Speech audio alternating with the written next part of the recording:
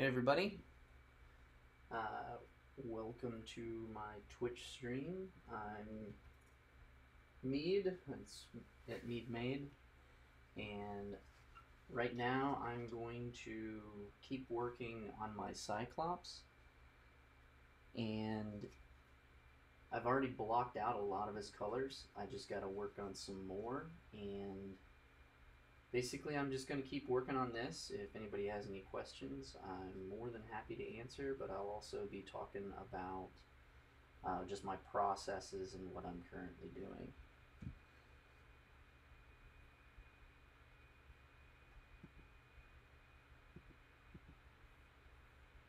So, just trying to get set up here.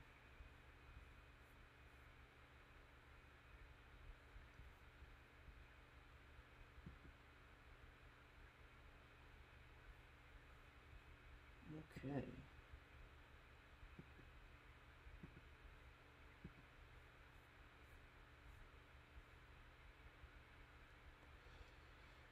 All right, so I've gotten with the Cyclops. I really wanted him to be like more of a classic look, even though he, you know, looks like a more modern X Men.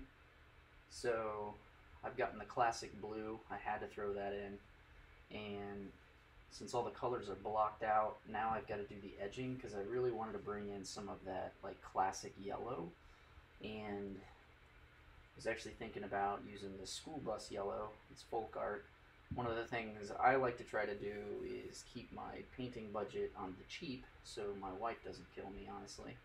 So I use a lot of the just the acrylic hobby paint. And so the school bus yellow is what I'm probably going to do the trimming on him on the banding here and probably the X. I'm definitely going to be filling in the background of the X with the uh, red, just that classic red. I'll probably go with a little darker. Um, and then on the edging of him, I'm going to do the yellow as well, and obviously his visor yellow. Um, so probably going to get started on that portion right now. I know I've got a little bit when I was blocking out my colors. It was, you know, I got a little bit of overlap, which happens. So I'm never really too concerned with that because you can always just go right back over it. Uh, thanks everybody for coming. And so if you have any questions along the way, just feel free to ask me. And I'm just going to kind of get right into it. So using this kind of acrylic paint, I definitely recommend watering down your paints just a bit. They don't have to be super runny, but I use a little eyedropper and just put a few drops in and then mix it up real good. So, get a brush.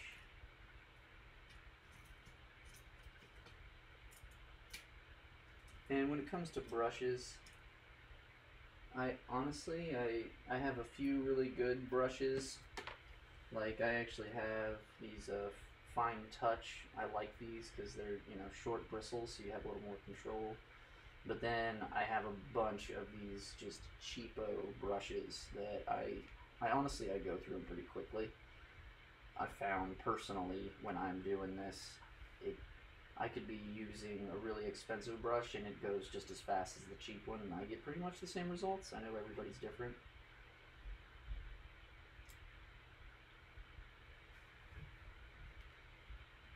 So make sure you guys can hear me well. There we go. Hopefully that's better. So just mixing this up good and it's a good kind of runny consistency. Now I got my brush dirty, so just want to clean it a little bit so I don't have big globs. Alright, so just going to work on my edging. I know I'm pretty blind, so I actually have this guy, which helps me see. Uh, he's actually gift from my wife when I started painting a lot. they're really fantastic because the lenses you can change them out with different magnifications, and there's also a little light on there. It just helps me to see. So with this, I'm probably, I can already see it's going to take multiple coats because of the yellow. And so I'll probably go in with a bigger brush like this and start filling it in.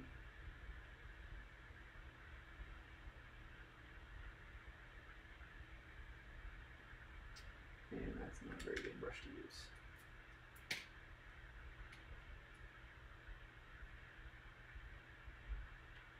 We'll see how this one works.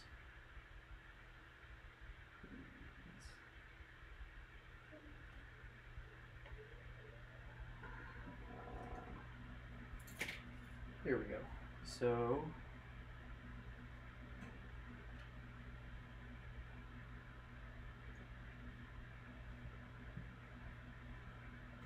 just start filling in.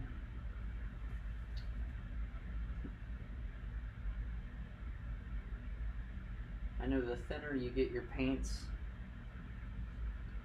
the less br- brush strokes you'll see. But this whole thing I've actually painted by hand, so I'm honestly not too concerned with brush strokes.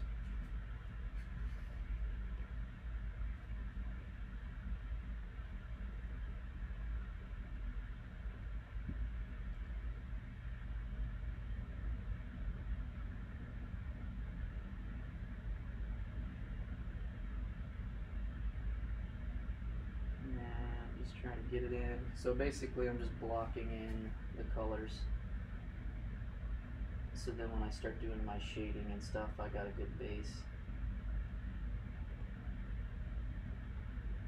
Probably should have painted over top of all these colors like white or something to help bring this out so I'm not going to have to do so many layers, but no one accused me of being super smart.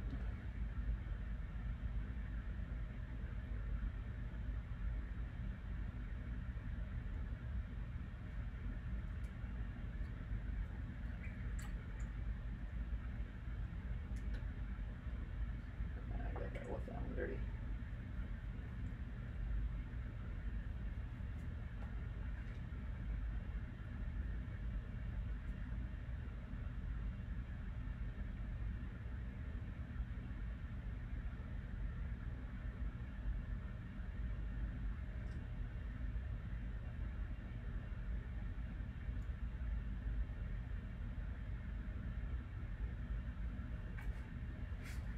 Yeah, I can already tell that this is gonna take quite a few layers, probably like two or three.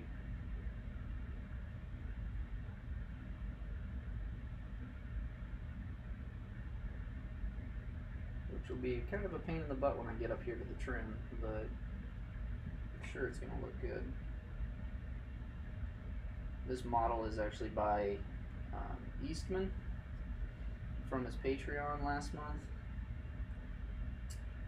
Very talented 3D modeler that makes a lot of cool busts.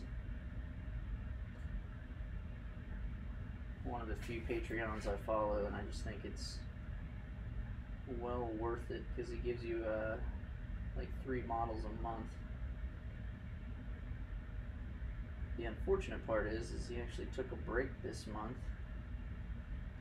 so he paused the Patreon.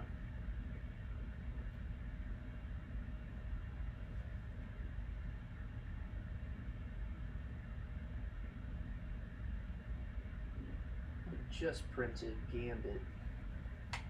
He's from an older or past month. And he turned out really good. I know a friend wanted me to print Gambit.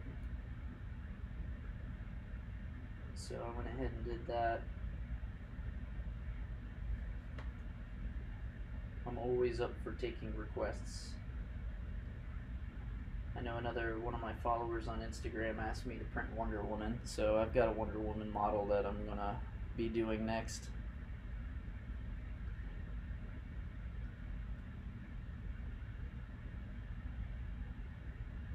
And I printed this on my Ender 3 Pro. I've actually got two of them. I'm constantly printing.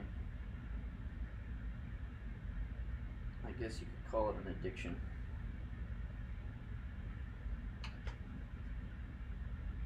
But here we go. First layer's done. Try to get some more on there, let that dry while I'm going to the next one.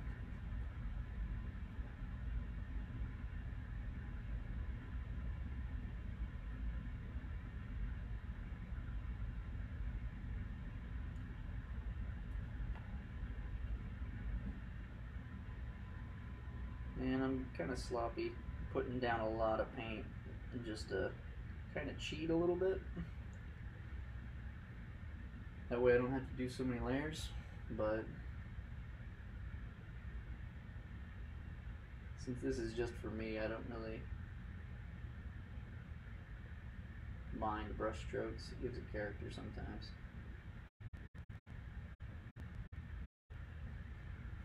The big thing is, is for this model, I was really just testing out some new skin, skin tones and trying to figure out how to perfect skin because I'm not gonna lie, skin is a pain in the butt for me. I have a lot of problems trying to get get it looking right because I mix a lot of my colors. For this one, I was doing a lot of different washes. It was actually, uh, I think it's Sideshow Collectibles. I was watching some of the ways that they do it on YouTube. And there's a lot of very talented painters on there and I was watching one on how they do skin. I was trying that technique, and it just it turned out okay, but definitely not the same quality that they were doing.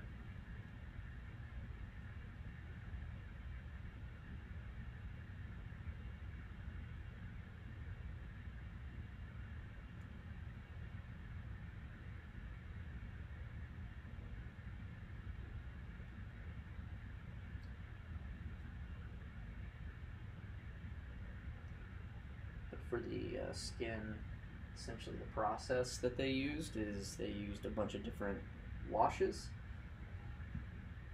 And I was trying that same technique where you basically get down your base pigment, which is a little more on the orange side uh, of like a peach and then they applied a yellow wash, sealed it, a red wash, and when you're doing the wash, you actually sponge it off to just let it have some of the color in the corners. So then I, you know, sucked up all of that and then did the red to give more of the, you know, pinkish look and after that I did uh, a little bit of highlighting and darkening for some shading and then do a blue wash.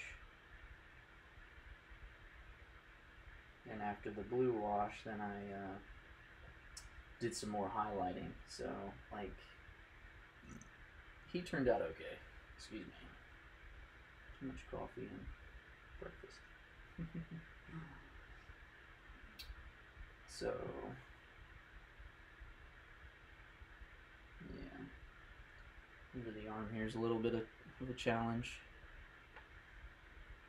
Trying to get in there, and make him do a headstand. I know for me, when I'm painting, I'm always trying to brace myself because holding something up like this and doing it like that, you don't have really good control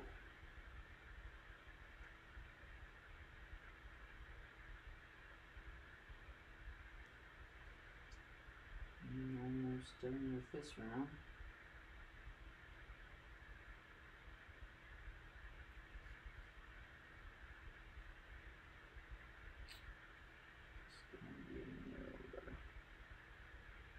Yeah, under that arm's pain. Okay. So, oh, just a little bit.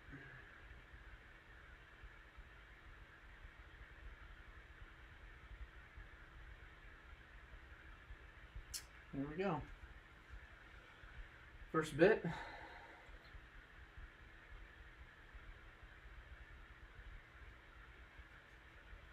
Now I'm going to try to get this edge here, which is going to be a little bit of a pain. Make sure I got a good point. So basically, I'm just I'm not a brush licker. I know uh, there's always two sides of the fence, so I'm always rolling my brush to get a point on stuff. Not that I have anything against that, but there's a lot of artists out there that do it to get their good point.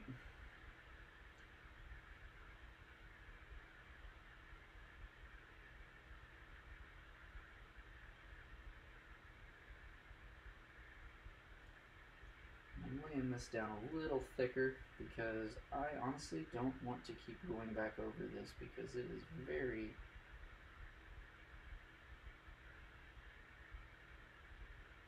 detailed right here.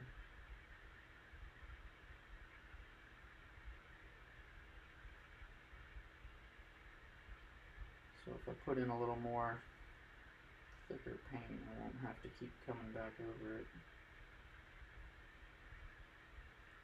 Because the fear is every single time I go back over it, I'm going to mess up my edging or something, and then I'm going to have to go back and redo it.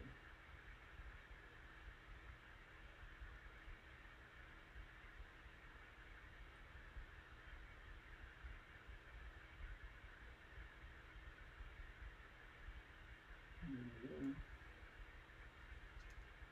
I think that trim's going to look nice.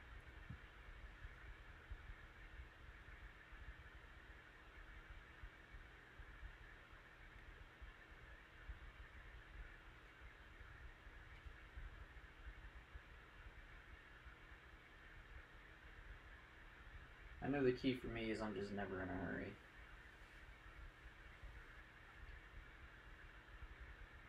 Because every time I've ever tried to rush something, I find I screw it up.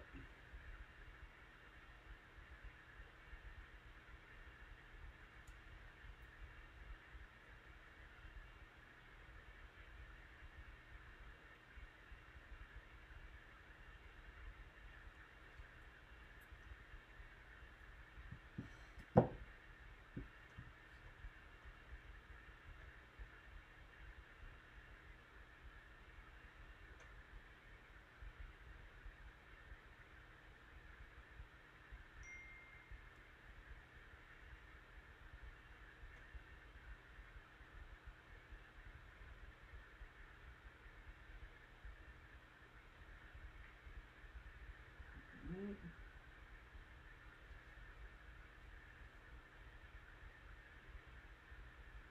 Looking good.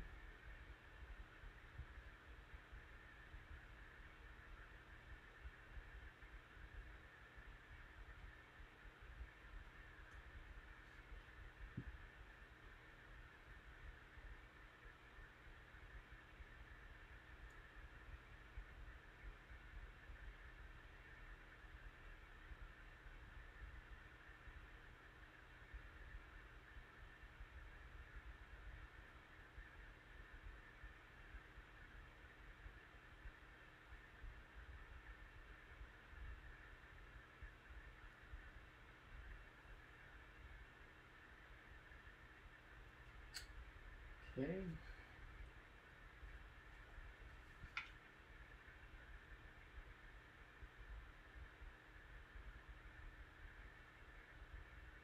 know one thing I'm always worrying about is like, because I do it constantly. I'm sure if you're a painter, you can sympathize that I'll actually be painting and then I put my hand just over what I painted and then I gotta redo it. But it looks like the yellow's already dried, so like by the time I do these rounds of yellow, they should be dry.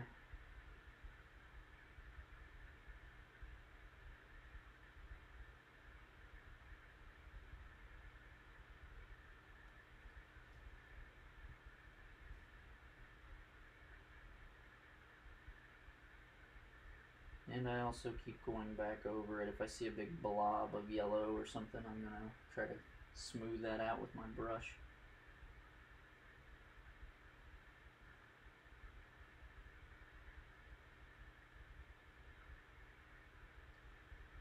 And I just hit his chin with yellow, which is great. More touch up.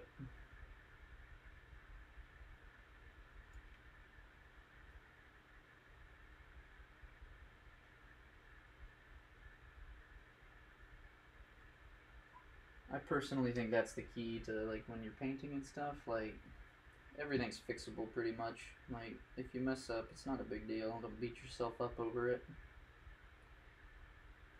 Cause I know I don't. When I screw up, I'm just like meh. More work. Oh well. It's supposed to be fun.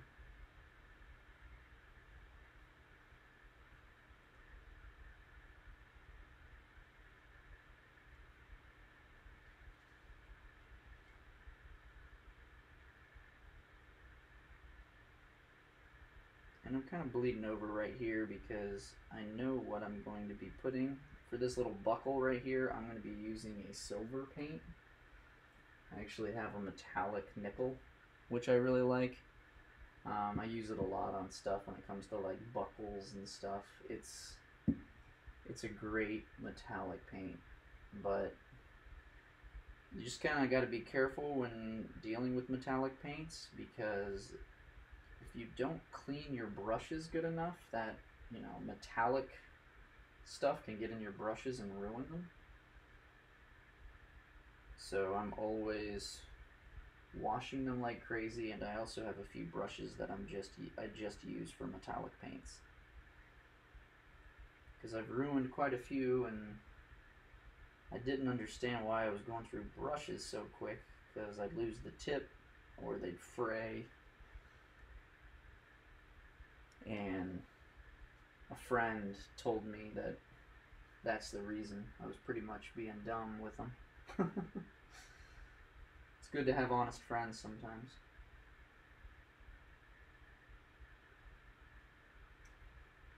Alright. Now to get the visor, which I'm super excited about.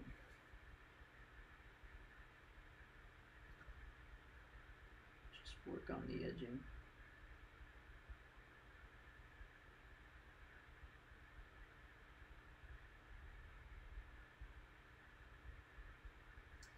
So I know personally when I'm painting on the with the edges, I always bring my paint to the edges. I don't just automatically start on the edge. That way I can have more control over it.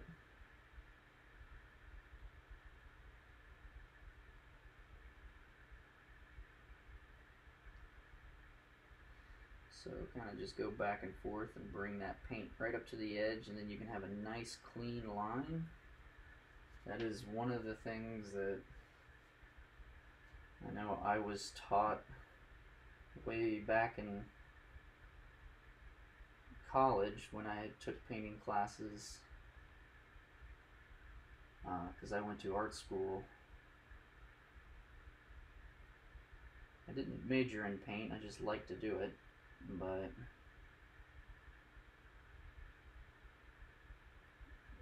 even on a canvas like it's always good to bring your when you're creating edges bring your paint to the edge don't start on the edge. And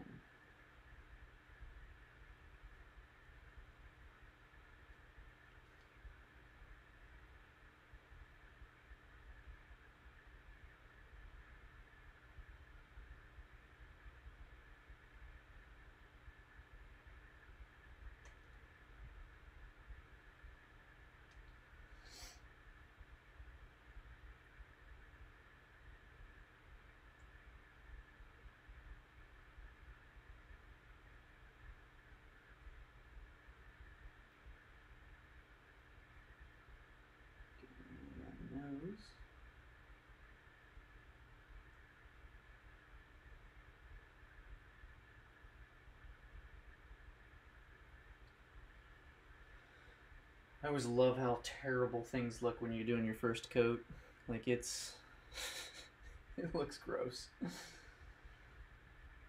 Alright, get back in here under the hair.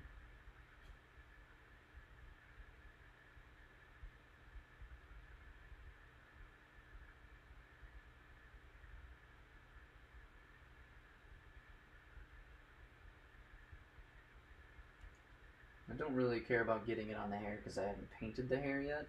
So like if I'm getting it in there, I don't really, it doesn't matter because it's going to be covered up with a darker color and it's going to go pretty quick. My biggest concern is making sure I don't have any big blobs in the cracks so they don't dry there and I lose that detail.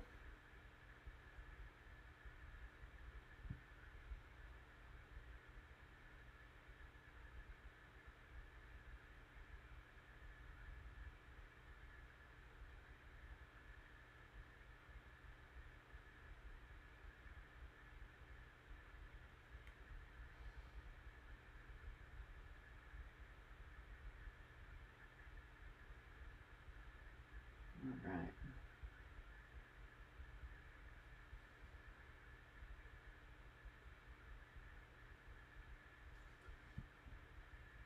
And I'm just filling in everything. So when that red covers up, it's just going to help me so I can do less layers.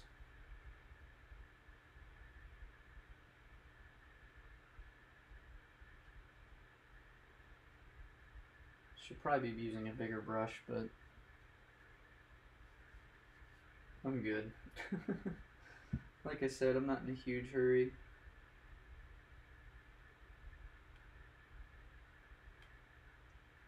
This Cyclops has taken me quite a while to do. Not that it's an intense paint job, it's just I haven't had time.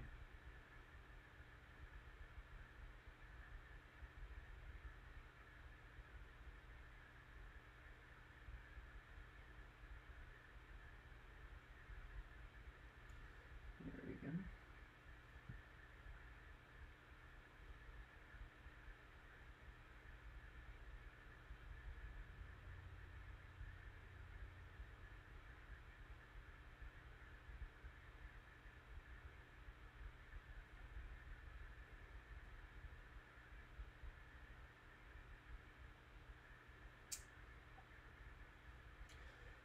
Okay.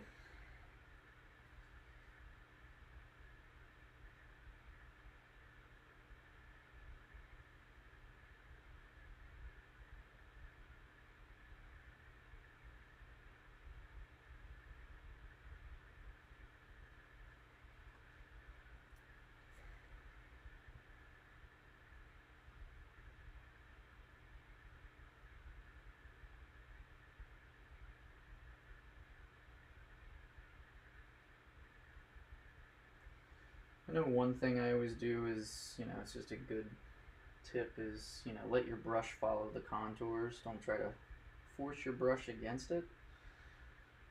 So you always get a better paint flow when you do that. When you're trying to get a good edge. Just kind of let it follow where it needs to go naturally.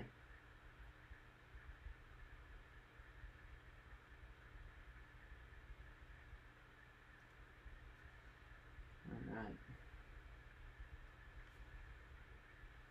So there we go. I'm going to go ahead and switch over.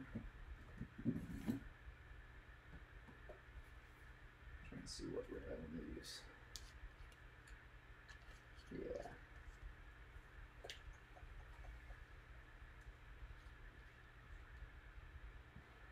So when I'm doing little tiny things, instead of just squirting it in here, I know I don't use a wet palette. I know I should, but I just use a regular like art palette. Um, but I'll just dip my brush in water, or I'll actually just get it right out of the cap, and then dip my brush in water, and I'll essentially just mix it right on there when I've got a big area. So like for this, like I'm not using a whole lot of red. So I just don't want to squirt a bunch of paint on the palette. And I know if I use a wet palette, I'll be able to keep it. I know all the benefits of a wet palette. I just honestly, I've just never bit the bullet and switched to it. I have some friends that I talk to quite a bit that tell me they love their wet palette. And I need to just do it, but I don't know. There's a lot of pros to using a wet palette, I'll tell you that.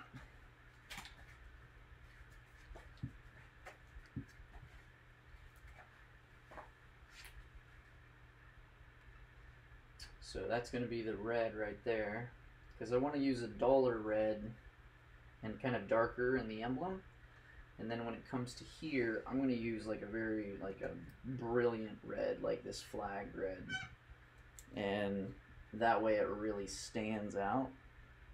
Because I want that, that ruby look that Cyclops has. But that'll look really good, I think. So, switch over back to my yellow. And start applying the second coat.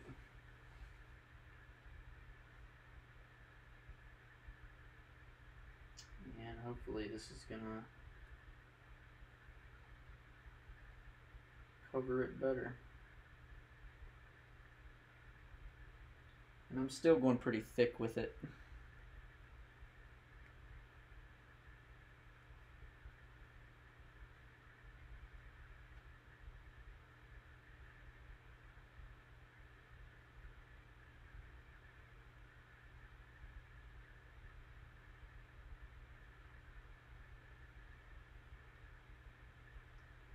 I do like a like a little bit of a dabbing motion to kind of leave a lot of extra paint. Because like I said, I don't really care since it's literally just for me. Like if I was doing this for someone else, I would definitely take the time, maybe even airbrush, mask it off, and airbrush it to like really make it look really nice. But it's just for fun.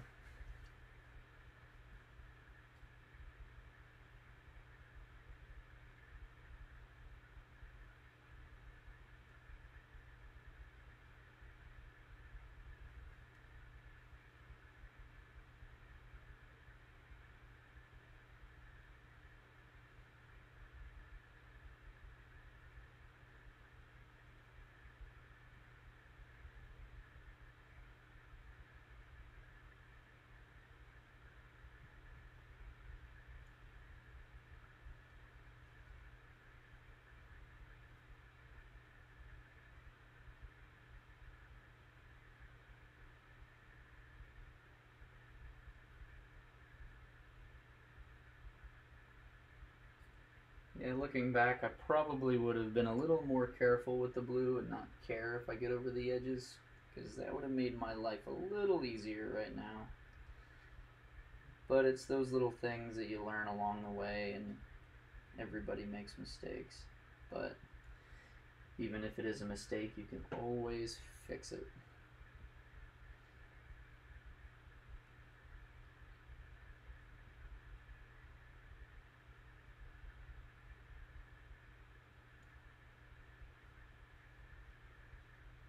So I'm just kind of blocking this out, getting a lot of paint down, and then I'll go back in with a finer point and really get the edge as well, because this is not a good edging brush.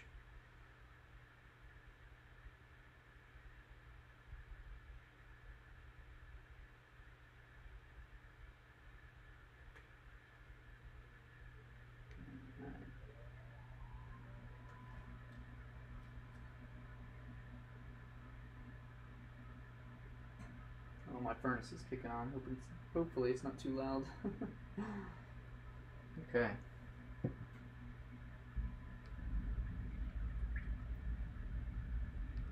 It's been getting cold here.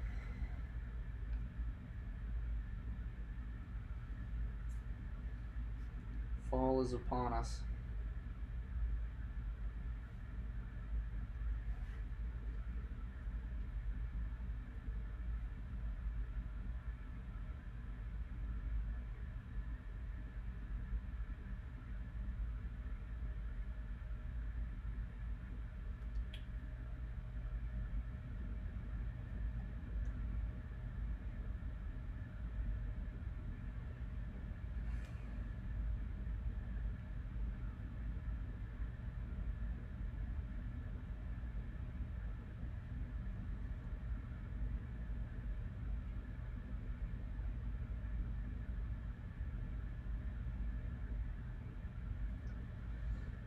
All right.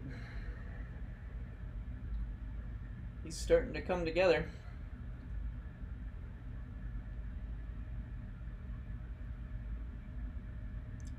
Time for the next band. Probably gonna take two coats the way it's looking. Or three coats.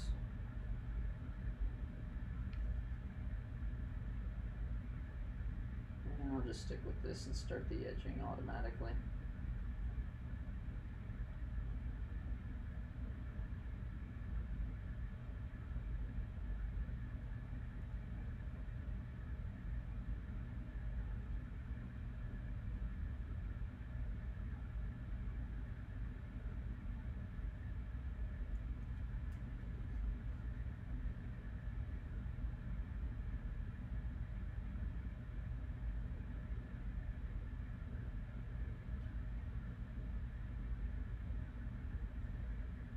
Know one thing I always do is I will start, not always, but most of the time I try to.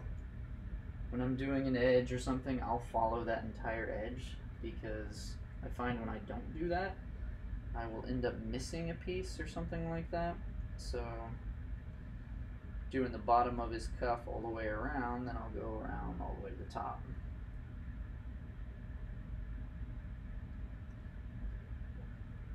It's just one of those workflow things because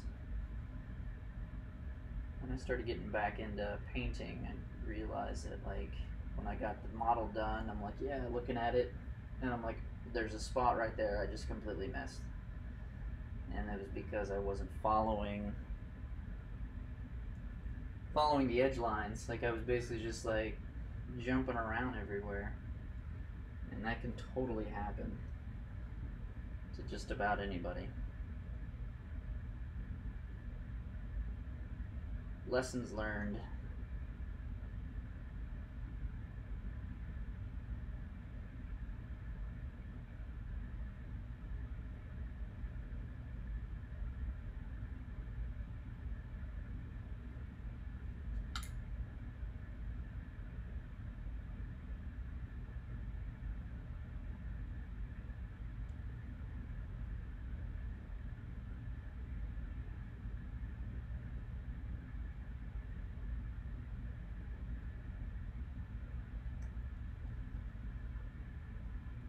Another little thing I do is I'll actually get a good glob on my brush and I just kind of wipe it on it, on the model. And then I'll honestly just use that as almost my, my palette to pull from. So when I'm going to the edge, I basically just keep coming back to that and pushing the paint where I want it to go. It's just one of those things that I've kind of picked up and did. Um, I've seen some painters do that. I've seen some that just get a tiny bit and they work a little bit at a time. I don't think there's a right or wrong. Like when you've got a big area like that, there's nothing wrong with throwing down a big glob in the middle, like right there, and then just kind of going through. But it's one of those things so you're not just going back and forth, back and forth, back and forth.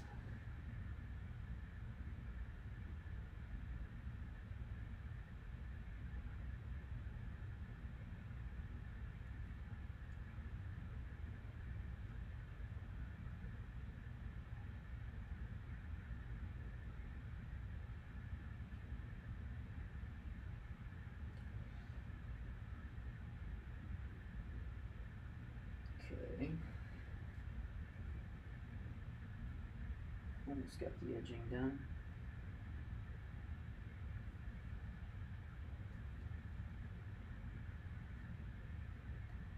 This is where it's getting harder.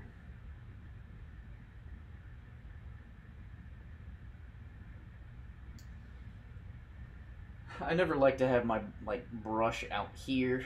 I always like I like to hold it really close so I have more control. But like in areas like that, you've got to just kind of get it way out there. So now I'll go to my thicker brush and get some glob here and start getting the center of it now that I've gotten the edging really nice.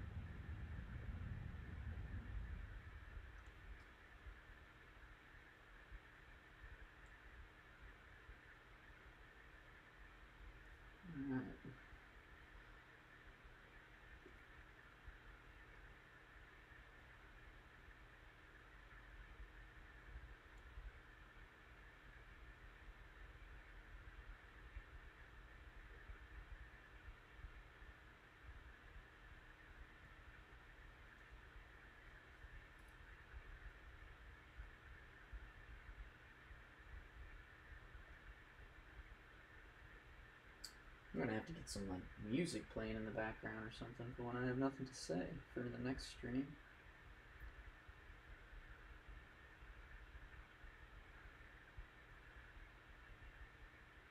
Still pretty new to Twitch, so I'm gonna have to learn how to do this. I just thought it'd be fun. See my friend Mad Max Miniatures do it, start to do it, and I was on the fence for a while and decided why not. I'm already painting.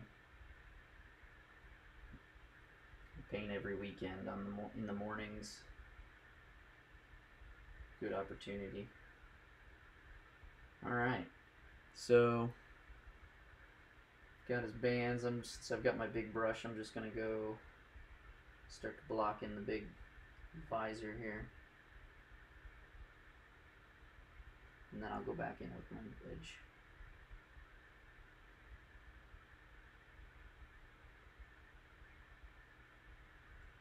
And like I said previously, I'm not really concerned about getting it on the hair.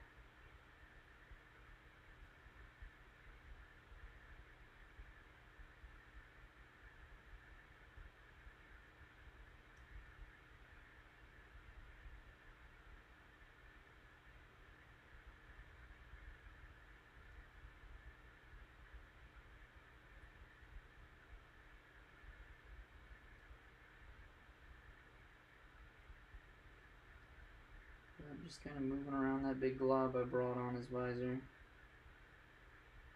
Just trying to get it nice and even.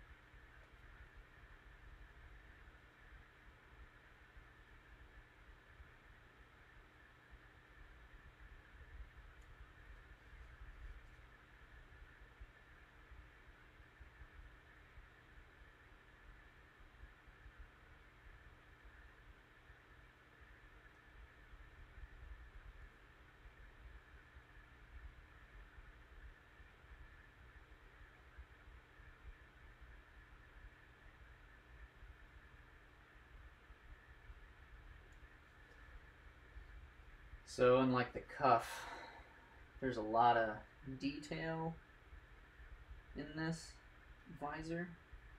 So like I don't want to really lose that detail, so it's going to take a few more thin coats.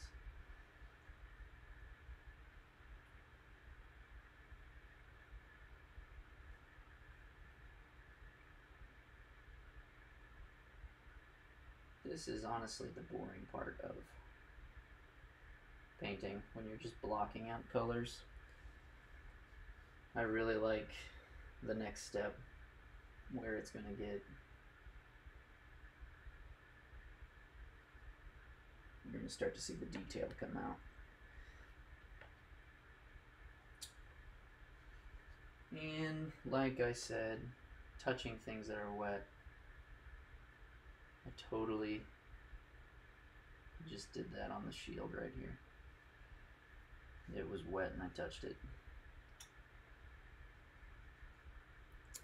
I make a lot of mistakes, I'm not gonna lie. But that's the thing on the final product, you can't tell because I keep going back over things. I think that's the biggest thing I've learned just in my career as an artist is don't be afraid to make a mistake because if so, you'd never do anything.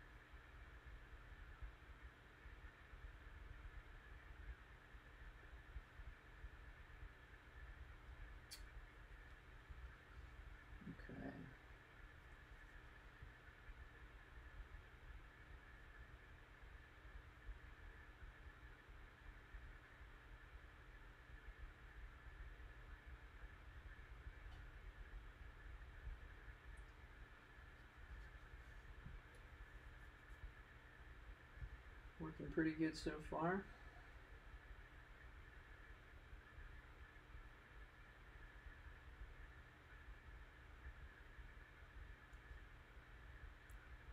If anybody has any questions, feel free to ask and I can answer or anything, honestly. Mm-hmm.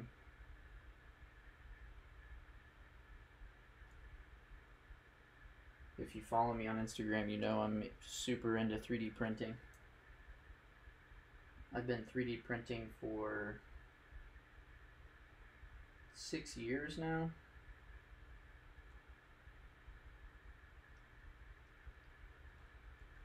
The technology has come really far. In the beginning, you couldn't do something like this. It was just, but there also wasn't a lot of artists out there making like really amazing models now there's just so many talented people coming out of the woodworks.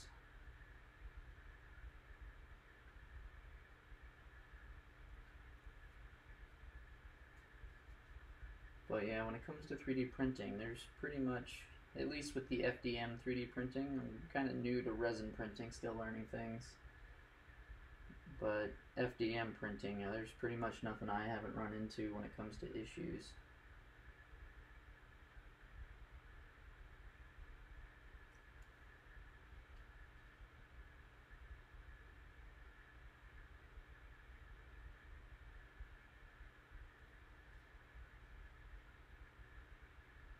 when it comes to resin printing, I feel like all I'm doing is running into issues. I keep figuring them out though. I think that's the key, not to give up on it.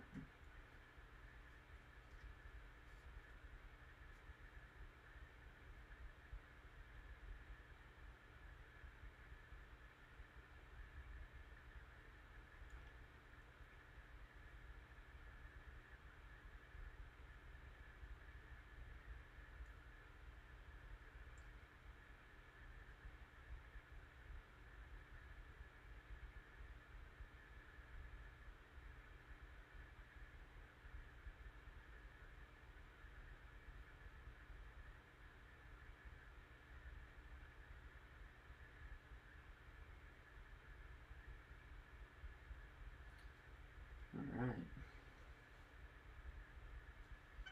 There's that. Just gonna go in and take some of that paint out. I don't want it in the visor too much. I don't want it globbing.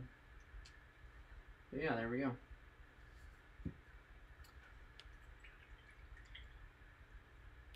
And I think I'm gonna go back in with the red. No,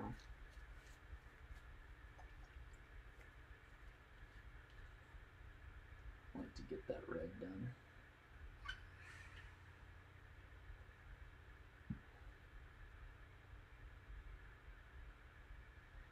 Nice thing with the darker colors, you have to do less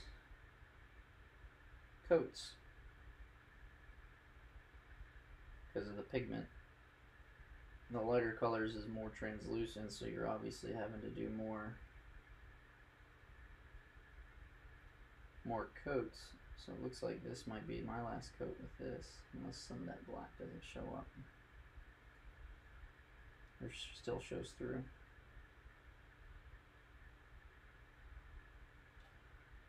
Which may be the case, but if so, it's not a big deal.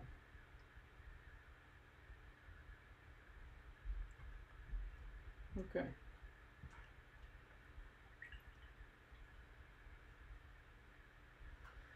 All right. So now, back to yellow.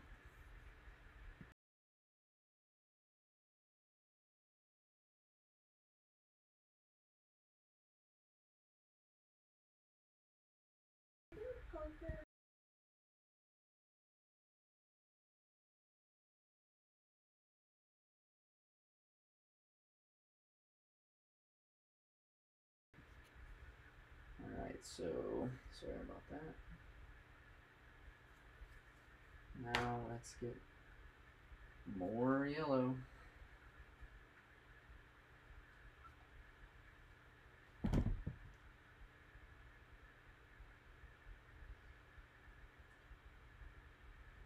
Hopefully this will be the last coat.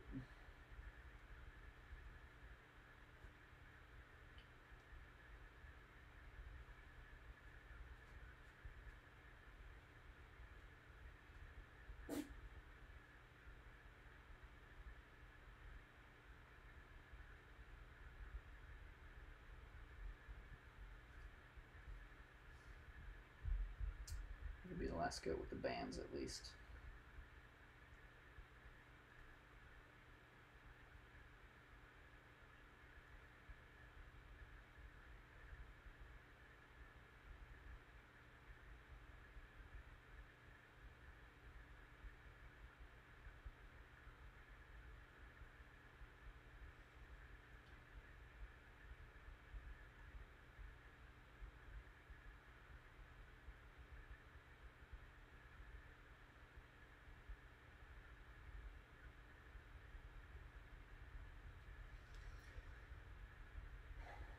Okay. Almost did it again. I almost grabbed right on that red.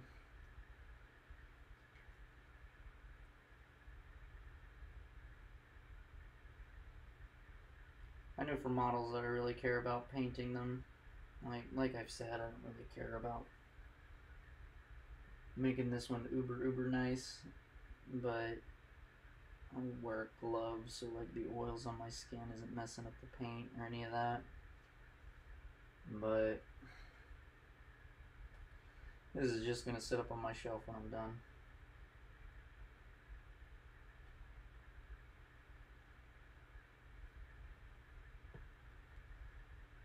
So I don't really care that much.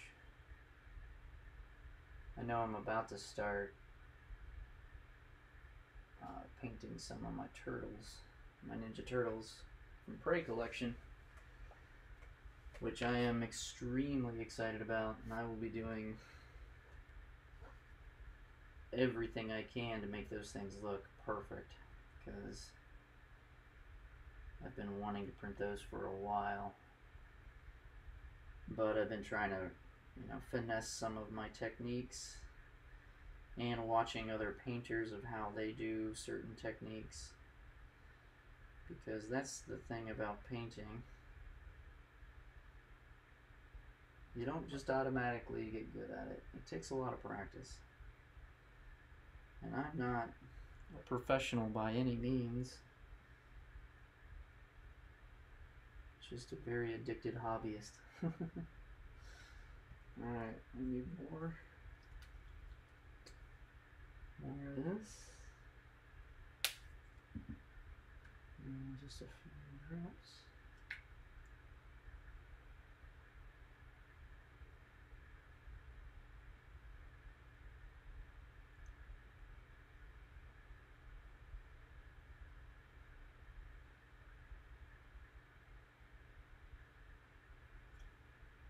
Okay.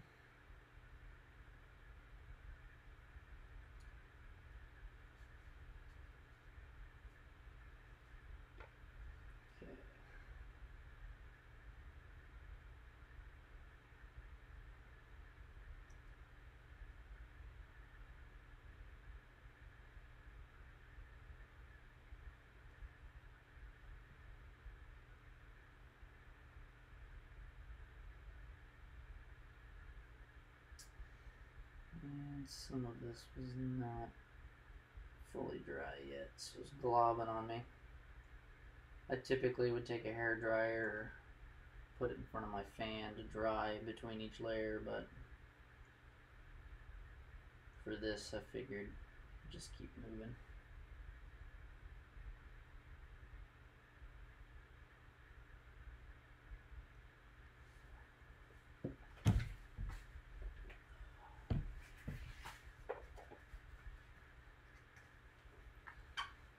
Okay.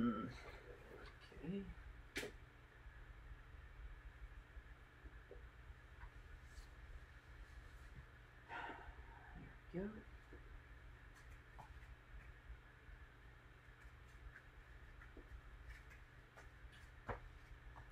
Lay down. I got my big dog beside me.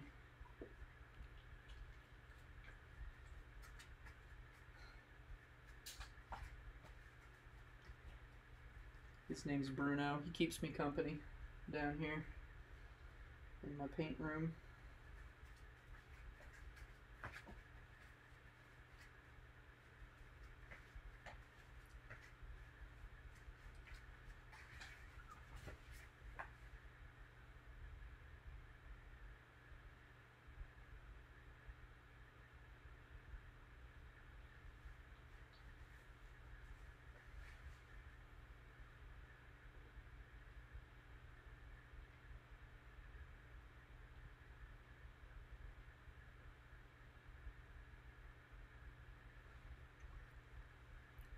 Sorry. Gotta learn to paint in the middle of the table so everybody can see. I think I might get a different camera too so I can be a little more zoomed in and you can really see what I'm doing. Maybe for tomorrow I can try to do that because I'm going to try to stream every Saturday and Sunday morning because that's usually my favorite time to paint. I always get up early and paint while everybody's asleep and before the day has gotten crazy, if you know what I mean.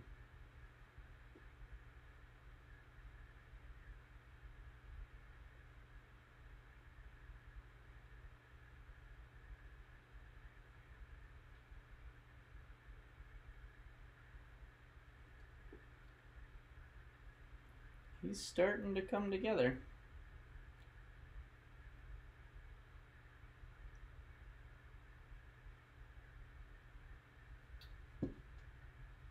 Okay. Uh, yeah.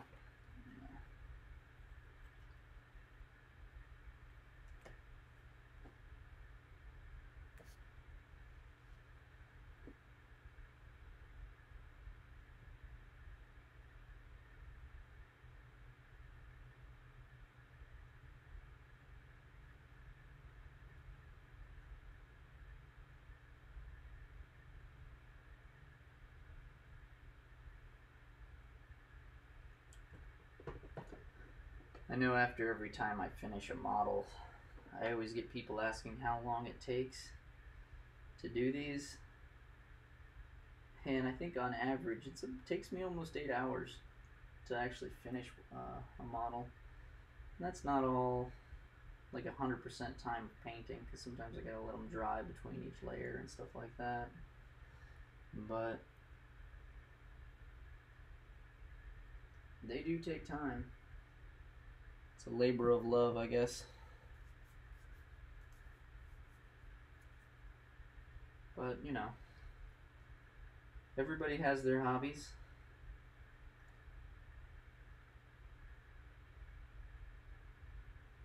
Because I've got some friends that will spend all day working on their car, and their car is their hobby. Personally, I like just sending my car to a mechanic.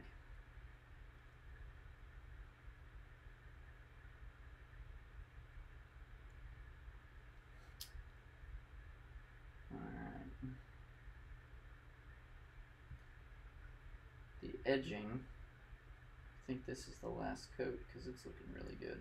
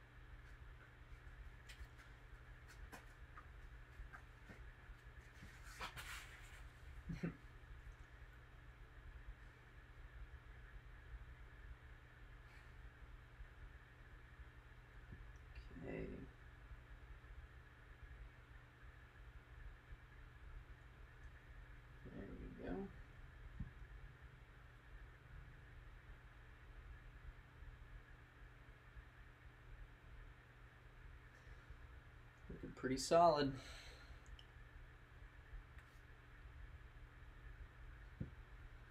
All right.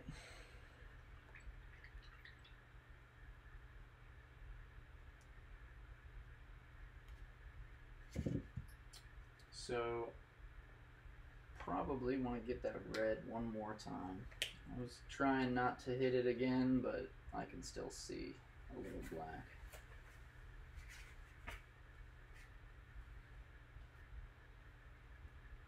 Okay.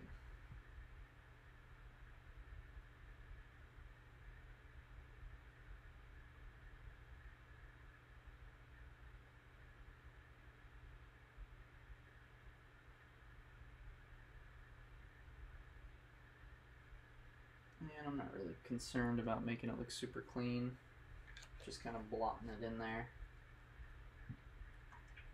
Because this is Cardinal Red from Folk Art. It's a pretty good hobby acrylic paint.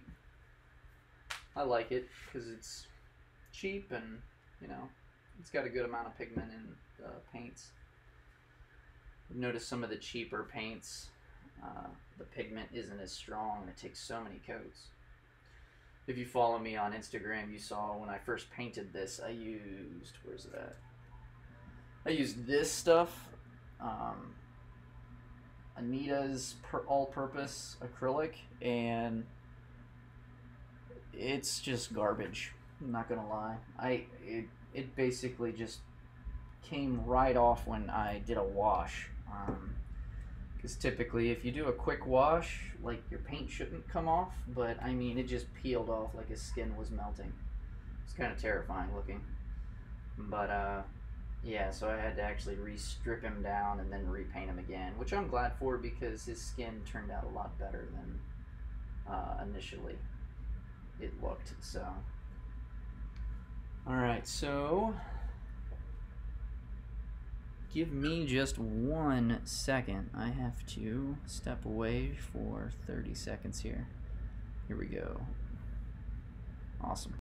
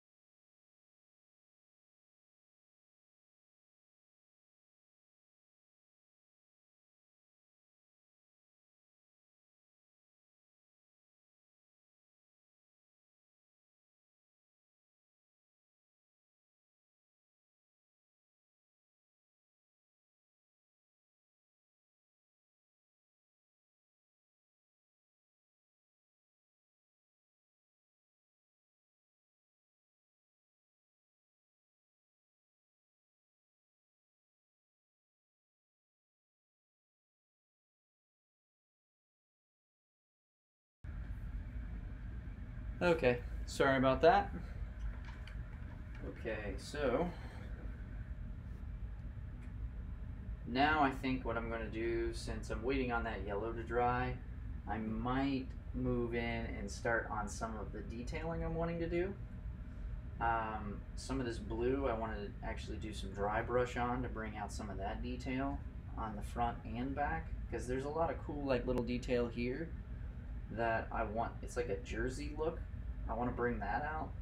And then I'm also going to get these, I guess they're vents. I don't know. Looks like a grill on his chest that I'm going to uh, put in some darker colors there, like a dark gray. Um, I'm also probably going to do some black edging along the lines in between the dark blue, the dark navy, and the light gray. Um, so first, I think I'm going to start with the dry brush because it's Honestly, dry brush is some of my favorite stuff to do. So with that, I actually used true blue on this dark area. And I'm going to want to get a lighter blue. Still dark though. Got this one. So what I'll do is I'll compare these.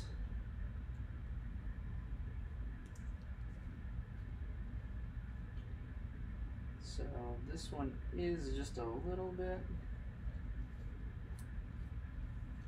lighter, but I think I want to go with something even lighter than that. Let's. If I can go a little more blue.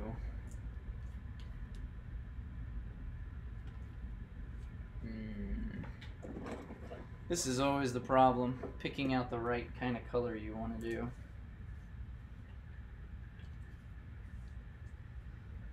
And I wouldn't call it a problem. I just get a lot of different colors. Cobalt. Yeah. I like that. Award blue. Yeah, here we go. So this is the blue I think I'm gonna use. Admiral Award blue. Actually just gonna squirt some of that out and do my dry brush. So first I gotta, I basically just swirl this around and get the, and dab it because I want to get paint in the bristles before I even go start to brush, get the paint off. So now I wipe it off because I don't want to waste all the paint. Then I'm gonna come over here and I'm usually, when I'm dry brushing, when I first do it, I swirl. I make a circle pattern, and that just helps the pigment get in the bristles. And then I start going back and forth until I get like a light shade on my uh, paper towel. Now is when I'm going to go in. I'm going to try my back first, so just as a test. And then I just do like flicks back and forth. And then you can start to see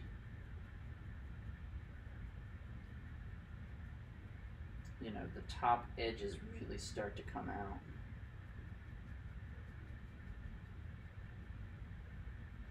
And I'll jab in there. That really is starting to bring that out, which looks awesome. You can kind of see it on there.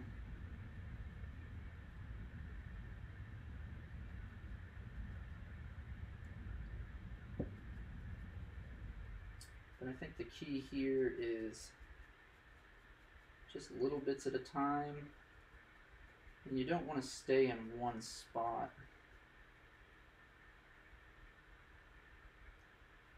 Because then you start to get some really big definitions.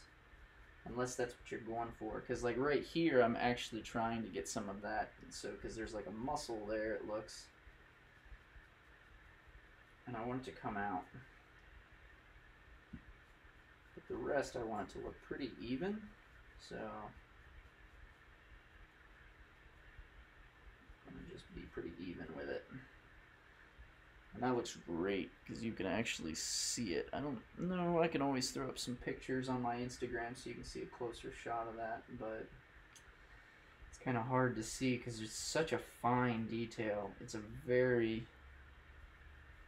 subtle thing. So, same thing here.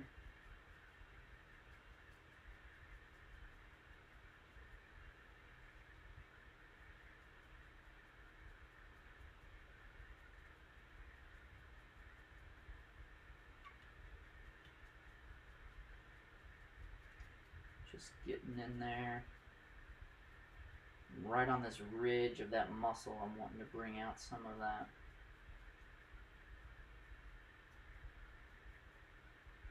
There we go. I'm pretty happy with that.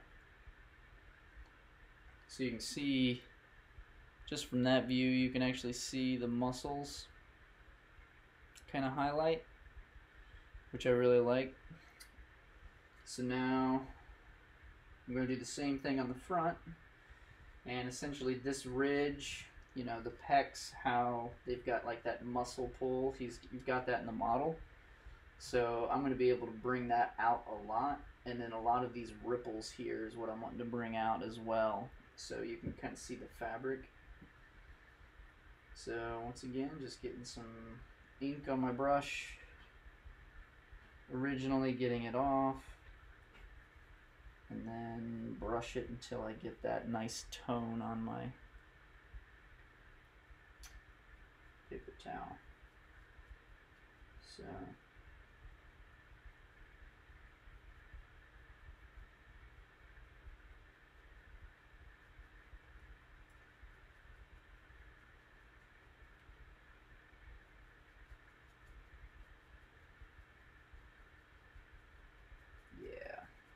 looking good. It's really bringing it out. And I'm hitting the edges of this too, and I'm going to have to come back. Uh, because these two blues I'm going to do some dry brushing on.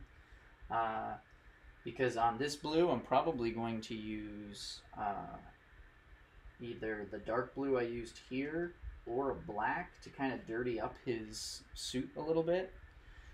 I'd like to try to not make him look super clean and pristine. I did a Deadpool a little while ago and I made him look just battle worn because that was for a friend that was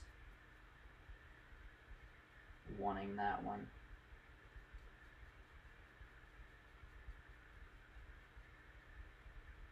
So there we go. That looks great. At least in my opinion. I know it's hard for you guys to see that little bit of detail. I mean, it is so fine. It looks like a jersey material.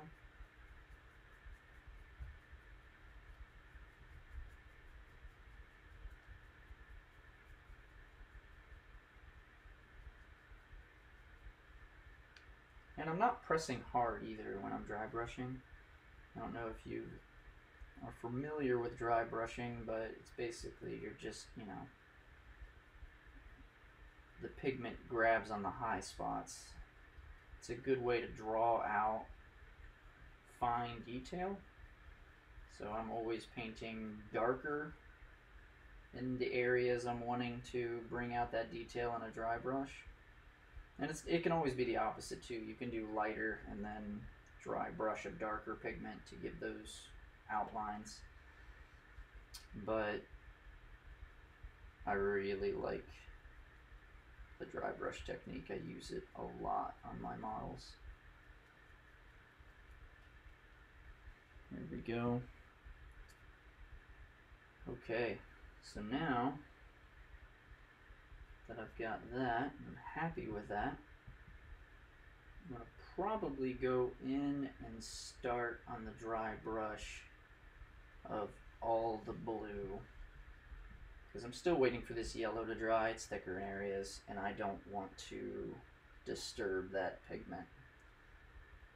Um, because there's some areas I'm definitely going to make it black. I'm going to do some edging lines and stuff on this. But overall, I want it to get a little bit of a, you know, dirt look to it. Uh, maybe not dirt, but more of like a rough soot look.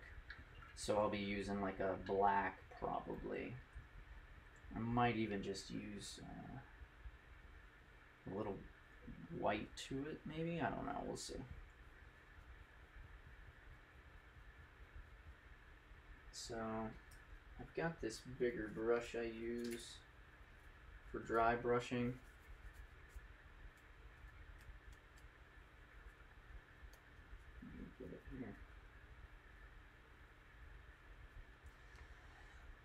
So for these areas, because I want it overall, bristles are a little hard. I didn't clean it good enough last time. And this brush is honestly destroyed just because of the amount of dry brush I've done on it. So I'm, this has got too much pigment on it, so I'm going to get rid of this paper towel and give me another one. Because I don't want to blend those colors. Actually, that.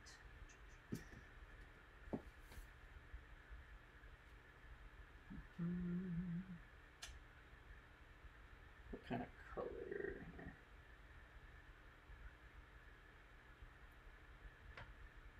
Here it is. Uh, wait, nope, that's my metallic. That would be a bad mistake.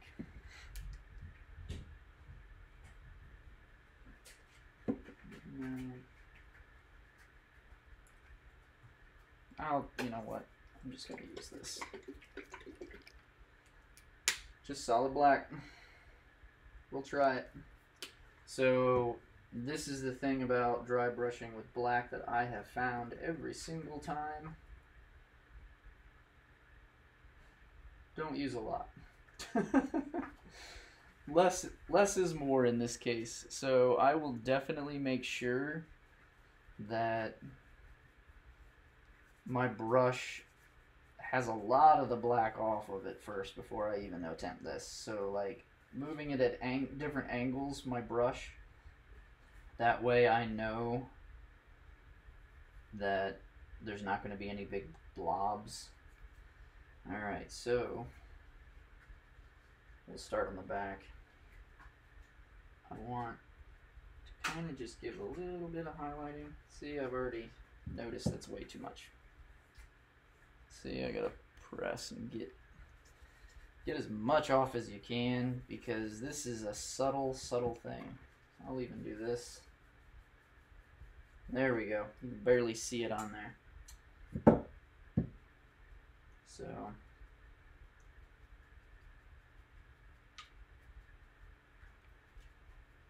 and this is really just uh at least I found when you're doing this kind of stuff it can be random. Not always.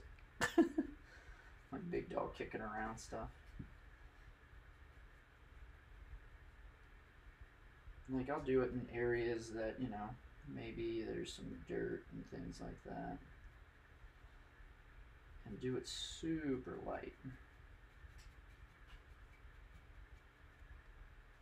Just enough to draw out some of that detail. And this is where I kind of stay back on my brush. Like, just to get some of that out. Because I just kind of want to wisp it almost.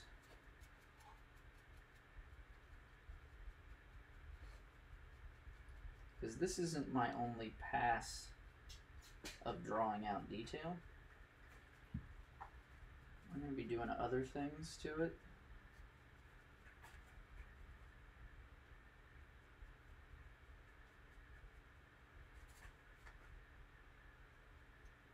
Definitely want to get that neck. So that was the bad thing here, that I actually got some dry brush in here, and I just got my yellow not as pristine, so I'm going to have to hit that again. But I'm okay with that. Like I said, man, I make so many mistakes while painting. Like I'm gonna I sometimes got to go back over things like two or three times. But I don't care. Like it's just fun.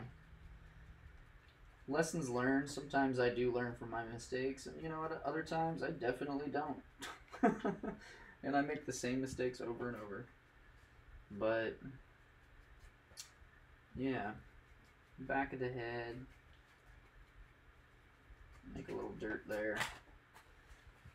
Okay. So that is pretty much what I want to do with that. Now, now that I got that, the next thing I'm going to do, first I'll clean my brush.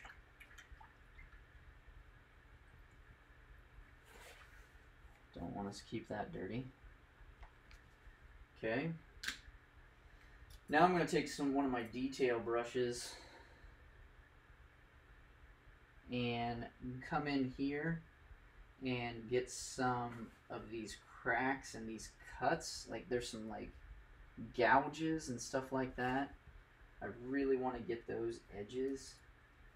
Um, let me see which point I want to use. Think I'll use this brush. And this is one of my the Fine Touch brands. This is just a zero brush round round tip. Uh, it's a good brush. I, I like this brand of brushes.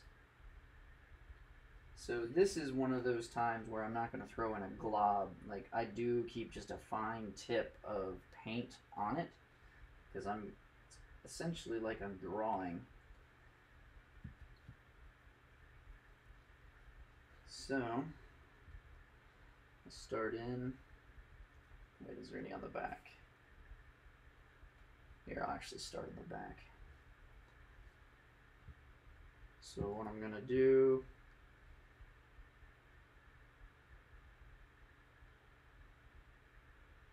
is just draw a black line down the middle there.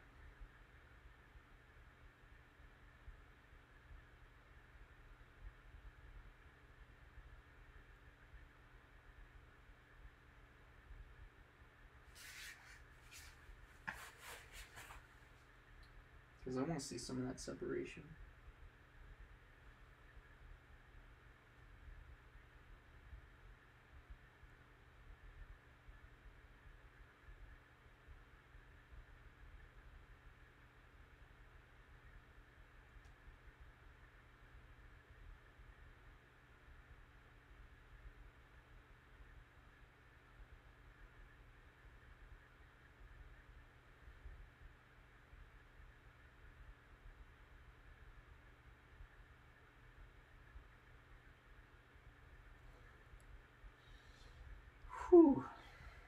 It's always fun when you're holding your breath to paint something.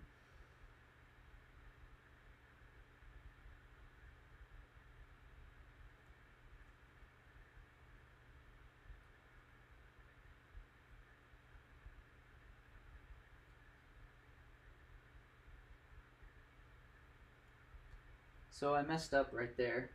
And one of the things I'll do if it's a quick mess up, like if I literally catch it right then and there, because I don't really want to go back in and have to fix that, what I'll do is I'll clean my brush real quick, get some water on it, and then just kind of rub back and forth in that area and kind of collect the pigment in my brush. Uh, and it works out pretty well, especially for something like this, because I want it to look dirty. So, like, if an area is just a little bit darker, that's fine.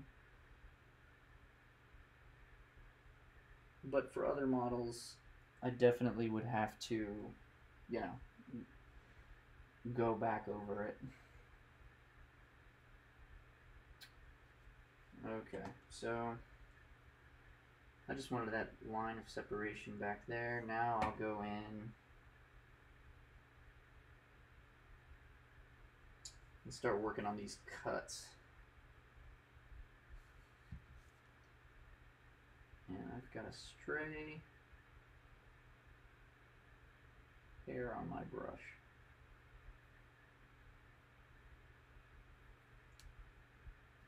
And that's why I always keep tweezers with me because sometimes when you get a brush, a stray hair will come out and you wouldn't think one hair would make a big difference, but I tell you what, that can screw up your line a lot.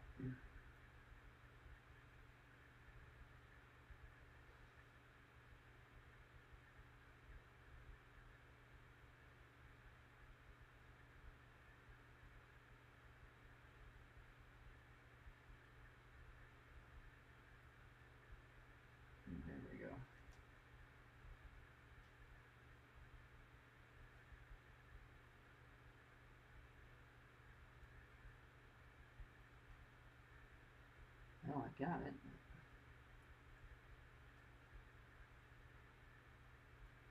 There we go.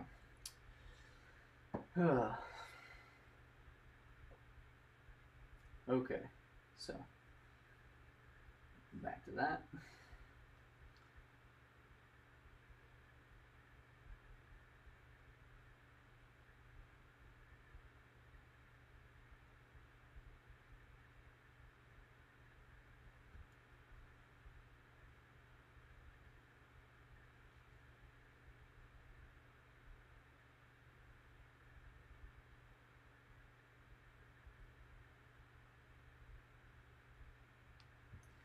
And so the key to this is I'm basically just following the path of the gouge in the crease and then I'm kind of letting it just come out. So I'm not actually starting at the tip of it.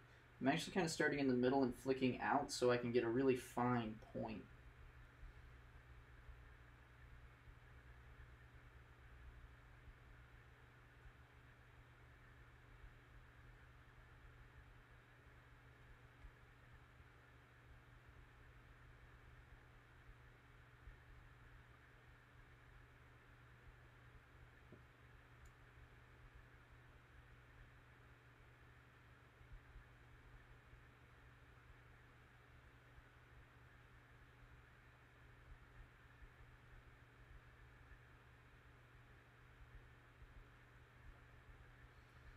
Okay.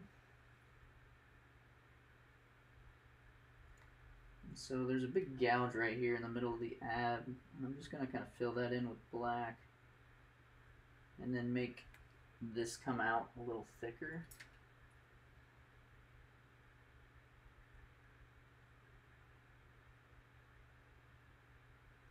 Because it's, it's just a good idea to think about like how this actually would look. So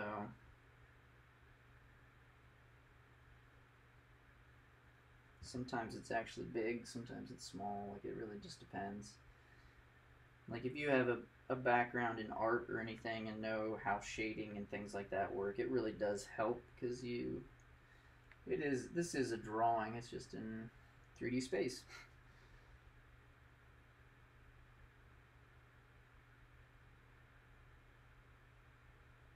Okay. So I got that gouge. I don't think there's any more. Ah, well, there is actually one slight one here. And I can put in. I think that's it. Okay.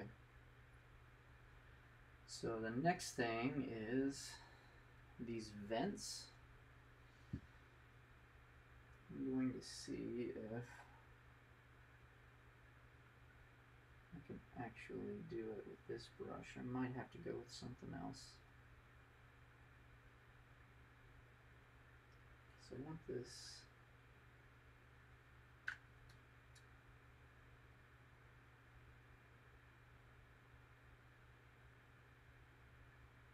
I'm really watering down some of the black so it can flow into it.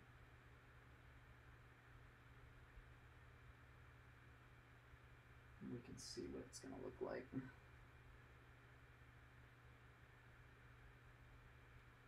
You can see how it just starts to spread when I touch it.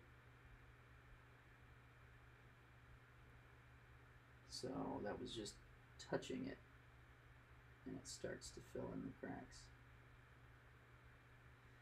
So you don't always have to actually brush it in. Like if you actually can it's a thicker, uh, more dark pigment.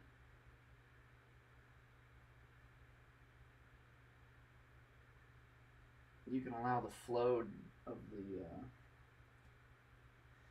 paint to do the job for you.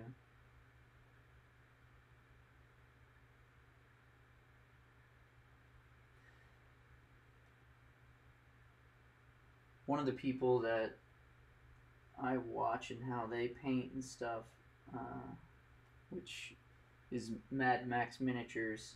He uh, just showed that he uses a lot of inks. Probably for this area too.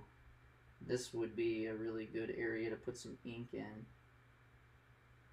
But so you can see that that vent really got covered well, and it was only a few drops of this watered down black acrylic ink. So, the only thing you got to watch out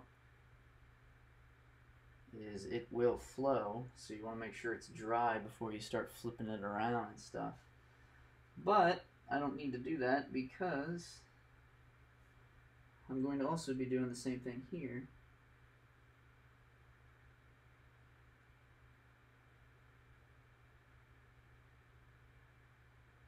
front.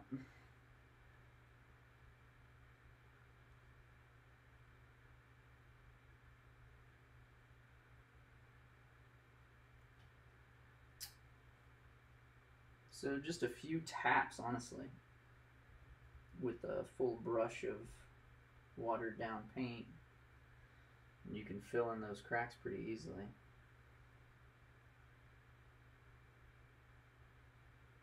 Like another way to get this too is, you know, you don't always have to do it like this way. You can think of it as in reverse. Like I could have left this all black and then I could have either dry brushed this like gray to bring out the cracks or uh, I could have just painted it and went around the cracks but the way I was blocking out the colors I just wanted it to be like this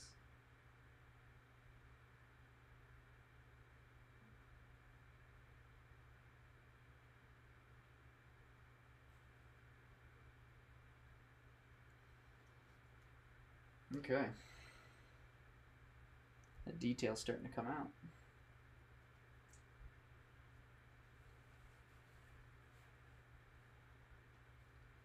So now, same thing on the other side.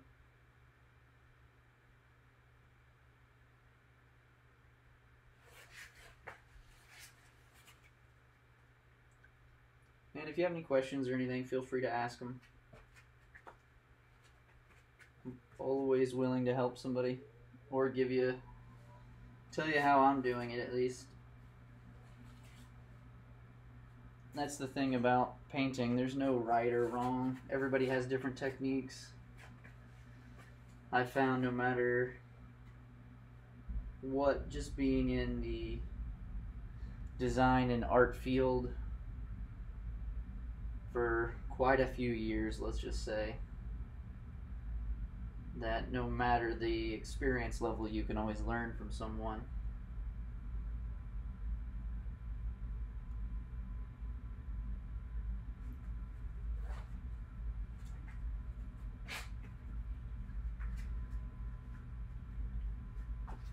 There we go, just a few touches and there they are. Boom. Now I gotta get the sides.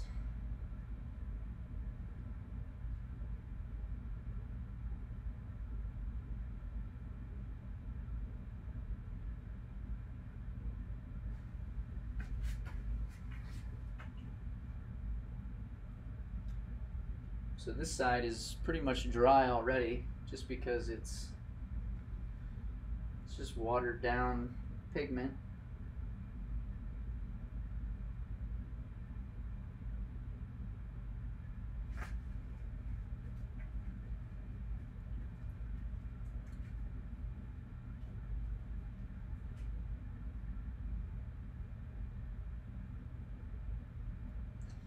There we go.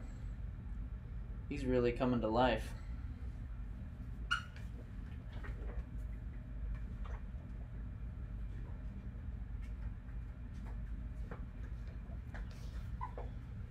All right, so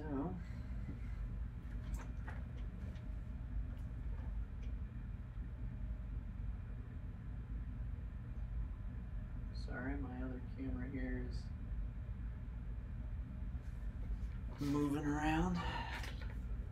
Okay, so we got that. I was thinking about maybe doing this as a gold, but then if this isn't gold, I don't know if that'll actually match. But I think that'd be kind of a cool thing. Because I've got some, like, real, like, metallic gold paints. Don't know if that would look cool or not. But we've got some more vents back here. So I'm just gonna keep touching and let the uh, ink just kind of fall through the cracks. Or I guess not the ink, but the pigment of the paint. And it's starting to dry up. So I'm gonna have to get some more. Mix it up a bit.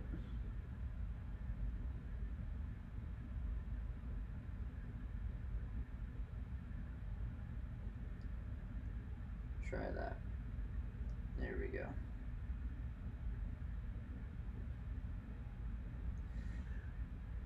I think my only warning to using this technique is absolutely make sure that it's a contained area because say if I did that like right over here it would bleed into everything so I actually might do this on the edges here to just give a little more definition to it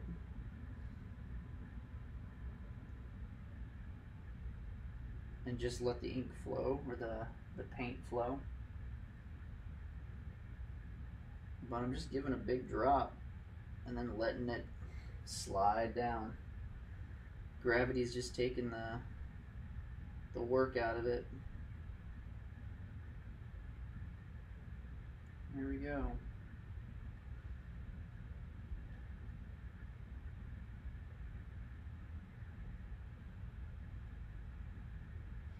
So for some I might want to hit it again because if it's sticking in one specific area you want to make sure there's enough pigment to dry and actually stay there because when you're doing this with colors you'll find that this is uh, it might take a few because black obviously the black pigment um, is is very dark, so you don't need as much. Like just one is enough because these are like vents, and I want it to be a, like a nice light gray, uh, and then it'll turn out to be a grayish. But but yeah. Well, Dad with hobbies, how we doing, man? Thanks for stopping by. In the middle of Cyclops.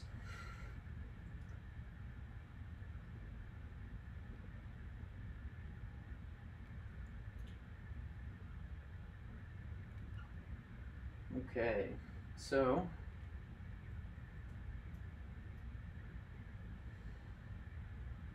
there's that.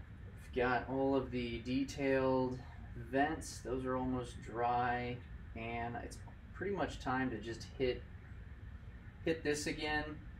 Uh, his visor. Oh, I take that back. I'm actually going to get a finer tip brush and hit the vents. I forgot there's vents on the side of his neck. So I'm just going to suck up some ink there in the brush.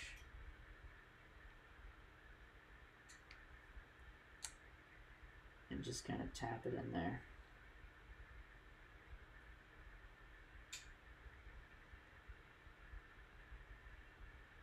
Hmm. These are too fine. I'm going to have to just literally paint it. So that was my warning earlier, making sure you actually have enough places for it to go because that was a prime example. It had too many places to go and it was too shallow, so the ink just went everywhere and bled out on me. So for these, I'm going to have to physically paint them.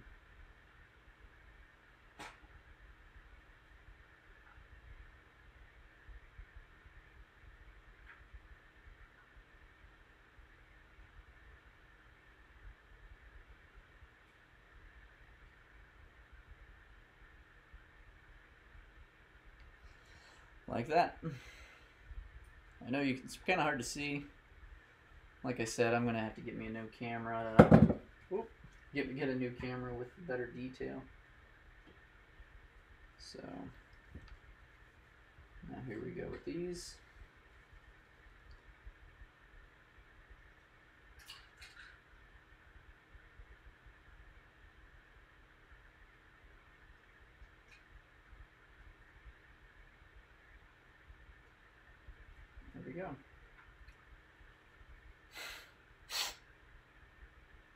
Okay. So, just looking around here.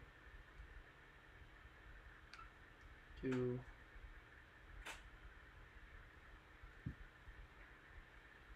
fix that.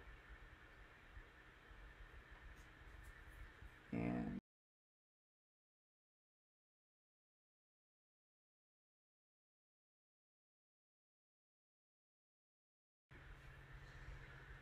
Okay. Um, yep. So I'm just gonna block off more of this yellow. This yellow is kind of a pain in the butt. Not gonna lie. So there's just a few spots around the bands that I think I need to add more to.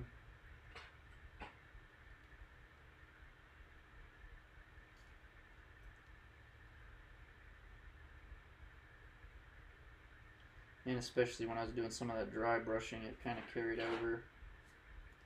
Which happens.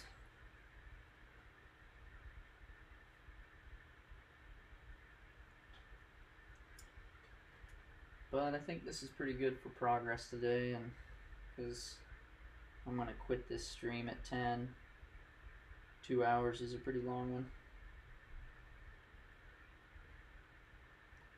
But yeah, when I dry brushed, I messed up his edge right there, and his visor still has a lot of work. I might just come back to it later today and hit it a couple more times. But I know me and my boys are we're gonna go on a hike today. Enjoy the fall.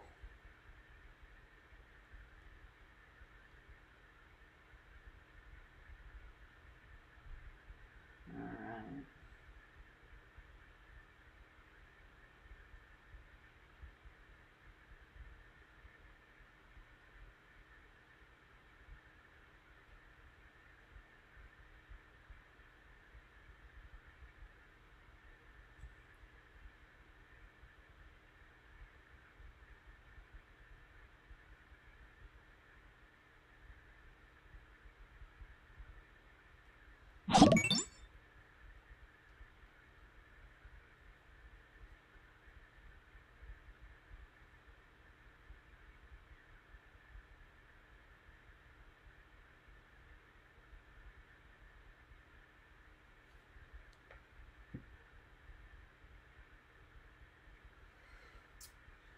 But he's getting close. I think I might actually do a little more to this because this is actually like a metallic.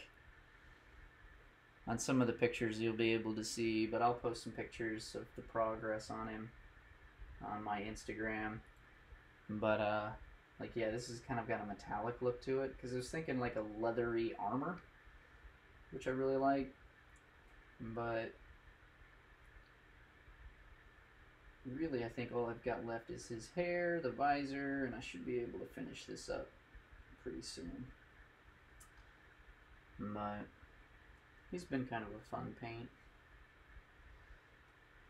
I've had some issues with him for sure, which I'm sure you've seen on the, my Instagram if you're on there with his skin, but I really I really like the amount of detail that the artist Eastman put on him.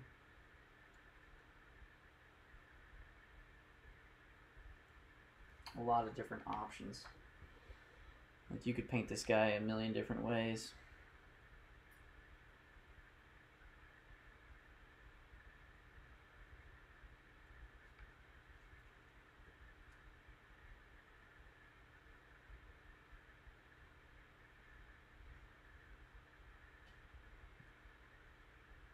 Okay.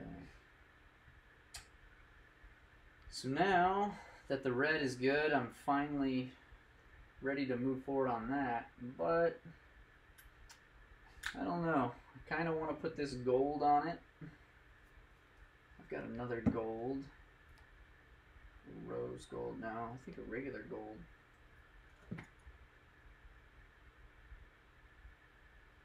Brushed.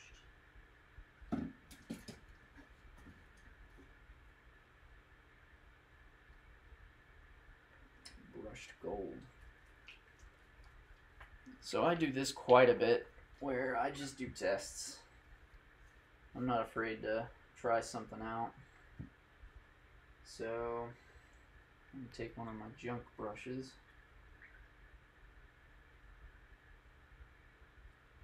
And I'll just do a quick palette test on it, see what it looks like.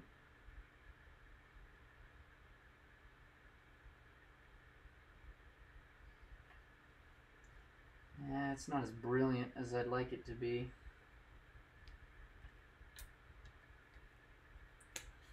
It's kind of too muted.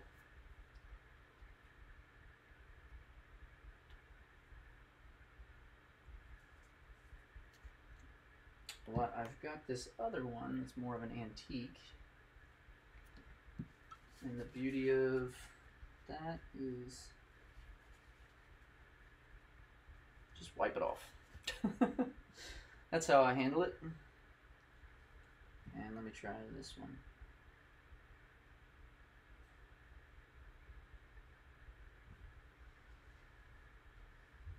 Kind of like that. I might do that to make the X a little bit different. Um, I don't know if anybody has any comments on that, if they'd rather see it metallic or if I should just make it the yellow. But I think the metallic might look pretty cool. Let's give her a shot. Why not?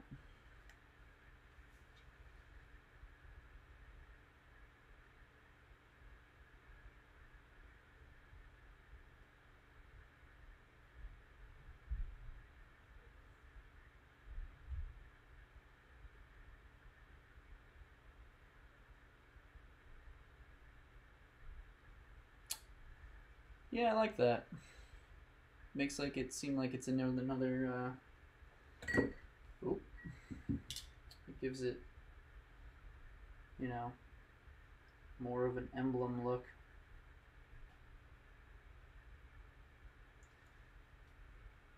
So, with these metallic paints, they're super thin, so I never water them down just because of how thin they are. So what I'm going to do is I'm going to get the edges as close as I can. And I try to get rid of any globs possible because I tell you what, like these really show globs like the metallic paints. And this is the uh, Folk Art Brushed Metal series of paints. I like it a lot, but you gotta make sure that you kind of spread it out really good and you can see all the metal flakes in it.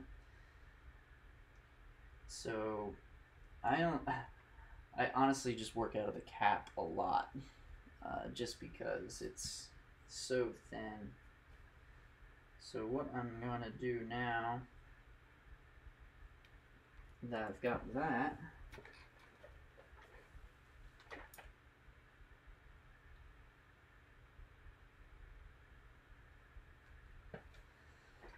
Okay, uh, is switch to a finer point brush. Hey, buddy.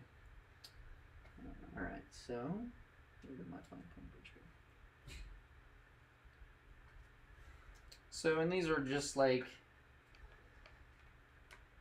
really cheap brushes. I'm not gonna lie. Uh, I think I spent eight dollars for a pack of like ten at Walmart or something. Like I just I go through brushes, so I don't spend a lot. Like honestly, my painting budget is really cheap. I know I get a lot of questions of like what kind of paints do you use? And I think people are surprised that I say I go to Walmart or like Hobby Lobby and just buy their, you know, cheap acrylic paints.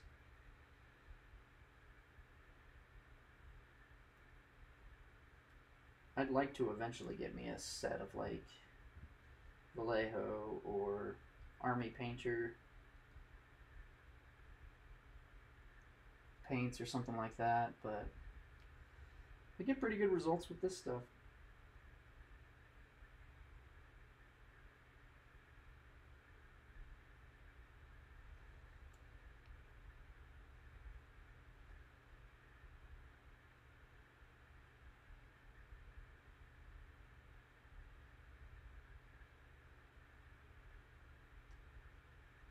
Okay. So, just getting those edging really nice. And then when I'm done with this, I'll probably end this stream. Really appreciate everybody being on. Hopefully I've gotten something good out of it. Or at least it's something to do.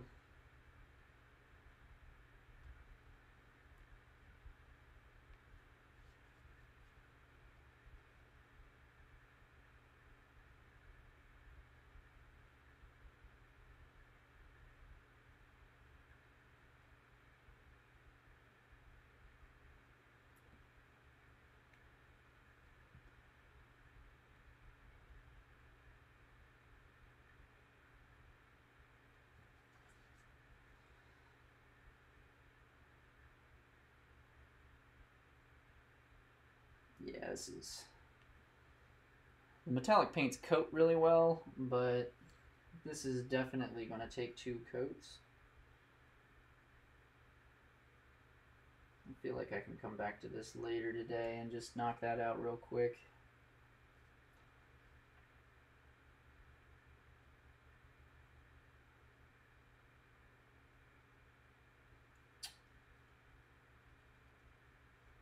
tomorrow I am really hoping I'm going to be able to start on my Donatello.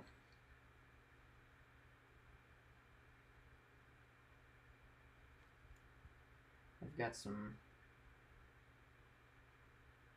airbrushing yet to do on him. I haven't done his base coat uh, for primer.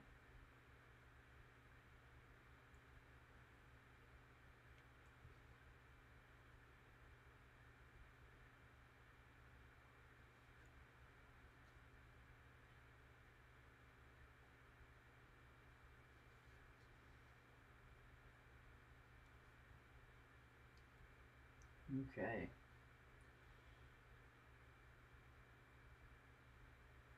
I think this is a really good stopping point.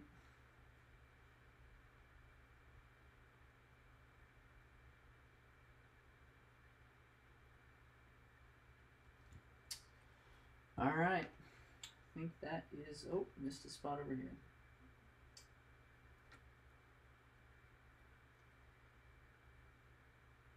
So many nooks and crannies on this X because the X is actually raised and I'm painting the side of the X in the circle.